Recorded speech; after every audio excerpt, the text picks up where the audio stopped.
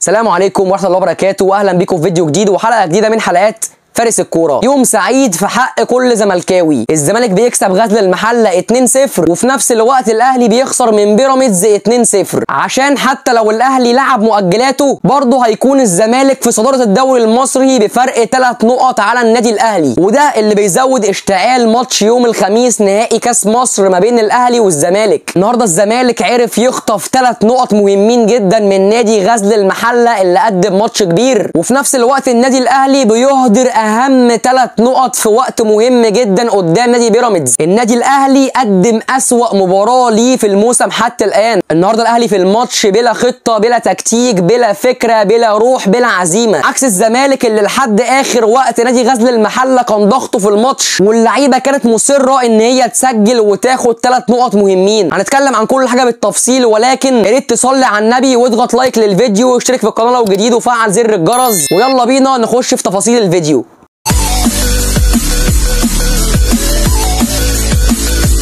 طيب بالنسبة لمباراة الزمالك وغزل المحلة الماتش دوت كان معقرب لحد الدقيقة 81 طب اشمعنى الدقيقة 81 لأن في الدقيقة 81 أشرف بن شرقي سجل الهدف الثاني لنادي الزمالك وادى الأفضلية للنادي بتاعه وضمن الثلاث نقط وفي نفس الوقت قتل أي أمل عند لعيبة غزل المحلة في العودة للمباراة. لأن حقيقة على مستوى الماتش كله وخصوصا الشوط الأول لعيبة غزل المحلة قدموا شوط أول يكاد أن يكون أفضل شوط أول للعيبة غزل المحلة من فترة كبيرة. لا ده الشوط الأول كمان كان ممكن يخلص 2-0 3-0 مستريح لغزل المحلة. لولا شجاعة وبسالة محمد عواد في حراسة مرمى نادي الزمالك. الراجل اللي في الشوط الأول شايل أربع أهداف محققين. الراجل دايما محافظ على نظافة الشباك ومدي الأفضلية للفريق بتاعه. الراجل اللي بكل تأكيد يستحق جايزة man of the match آه أشرف بن شرقي مسجل الهدف الأول والهدف الثاني. ولكن محمد عواد كان دايما مديك الأفضلية. لعيبة غزل المحلة قدمت ماتش كبير جدا.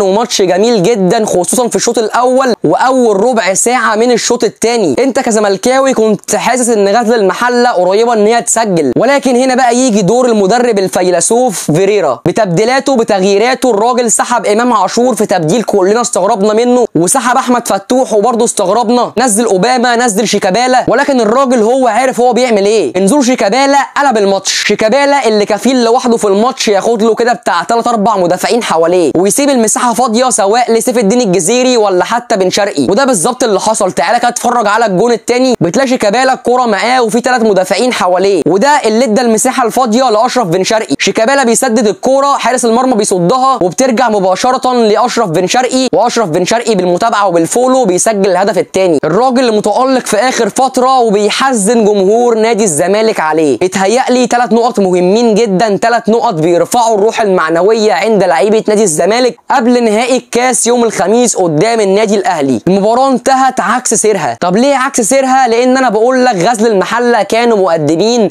ماتش كبير جدا. ولكن الخبرة والقوة والمهارة والتاريخ تكسب. ومن هنا نروح لمباراة الأهلي وبيراميدز. طيب بالنسبة بقى للأهلي وبيراميدز فالنادي الأهلي النهارده قدم مباراة مملة قوي قوي قوي لعيبة الأهلي النهارده في الماتش بلا هوية بلا فكرة بلا خطة بلا تكتيك بلا روح بلا عزيمة. وحط تحت روح وعزيمة دي 10 خطوط. لأن الأهلي قدام Future كسب بالأربعة بالروح والعزيمة. الماتش دوت سلبياته كتيرة جدا. أولها إن نادي بيراميدز بينافس على المركز الثاني وبيقرب منك واحدة واحدة. تاني حاجة إن أنت هتلاعب الزمالك يوم الخميس الجاي في نهائي الكاس وده اللي بينزل الروح المعنوية عند اللعيبة. أما بقى المدرب فأنا جيت قلت لك لما عملت حلقة عن المدرب دوت وقلت لك إن المدرب دوت فعال هجوميا وبيبني كور ياما جدا هجوميا ولكن مفيش دفاعيا خالص زي ما انت بتسجل أربعة قدام فيوتشر بتستقبل النهارده هدفين قدام بيراميدز. مساحات ياما جدا في خط دفاع النادي الأهلي. الخطوط مش قريبة من بعض خالص. مفيش انسجام في كعبله في خط الدفاع. لعيبة الأهلي النهارده تايهة خالص. مين مع مين ولا مين فين؟ عكس نادي بيراميدز اللي قدم مباراة جميلة جدا أقوى مباراة لنادي بيراميدز من أول الموسم سواء على الجنب الهجومي أو حتى على الجنب الدفاعي. لأن على مستوى الجنب الهجومي فبتلاقي نادي بيراميدز قدم مباراة هجومية جميلة جدا. في انسجام بين اللعيبة في جمل تكتيكية واضحة بين اللعيبة وعلى مستوى خط الدفاع فبرضه الفريق كان مقفل خطوطه بشكل مميز. كل خط قريب من التاني فبتلاقي عندك نادي بيراميدز مقفل كل الثغرات على النادي الأهلي. بتلاقي لعيبة الأهلي لما يكونوا معاهم الكورة بيكونوا عاجزين تماما ومش قادرين إن هم حتى يخرجوا من الكورة من منطقتهم بسبب الضغط العالي اللي كان مشكله لعيبة نادي بيراميدز. لعيبة الأهلي زي ما قلت لكم كانوا بيلعبوا من غير روح خالص وده اللي كان باين في الماتش إن كل لاعب بيمسك الكورة بيباصي للي جنبه